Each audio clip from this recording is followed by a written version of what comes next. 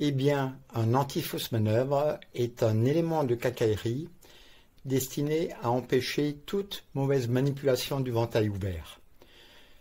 C'est généralement une pièce à ressort, comme vous le voyez ici. Ici, sur ce ventail, elle est positionnée sur la partie haute, sur la traverse haute, ce qui empêche tout déclenchement accidentel avec la main, contrairement à certains qui, situés sur la partie montant, peuvent être euh, actionnés euh, par la main, euh, par mégarde. Donc voici cet élément anti-fausse manœuvre, très intéressant.